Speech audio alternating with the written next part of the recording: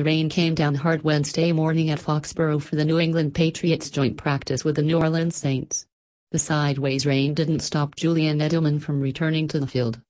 A day after tweaking his foot in practice and violently spiking his helmet in frustration, the Pats' number one receiver was back on the field wearing shorts and shells, catching passes and even leaving his feet cleanly.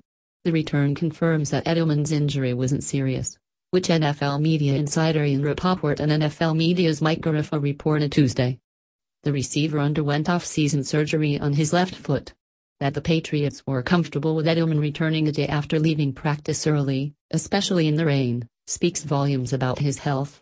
We needn't worry that Tuesday's injury will keep the team's top wideout off the field to start the season. New England, you can breathe that sigh of relief. Here are other injuries that we are monitoring on Wednesday. 1.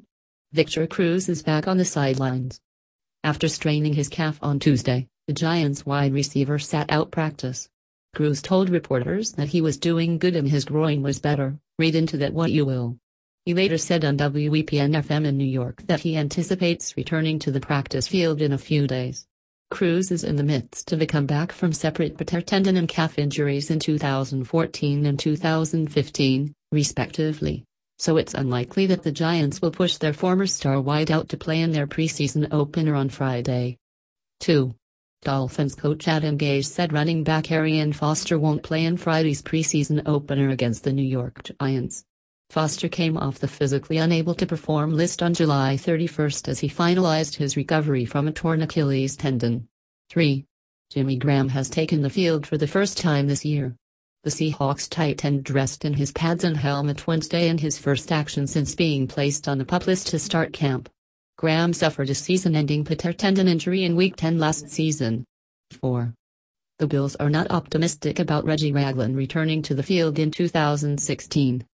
Buffalo's rookie linebacker has suffered a torn ACL and is expected to undergo surgery tomorrow. The Bills released a statement confirming that they expect him to miss his entire debut season. 5. The Browns have moved fourth round rookie tight end Seth DeValve, hamstring, off of the pup list. 6.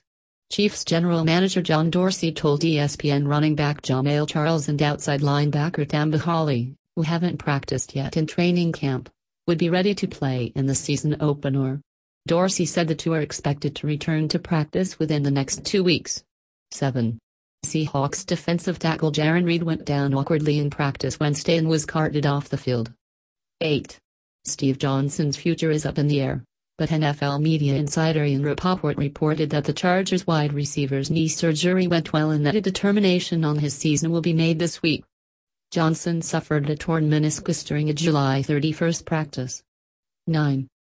Coach Jason Garrett said Cowboys running back Darren McFadden is progressing well in his rehab from his elbow injury, but the veteran won't be ready to practice or play anytime real soon.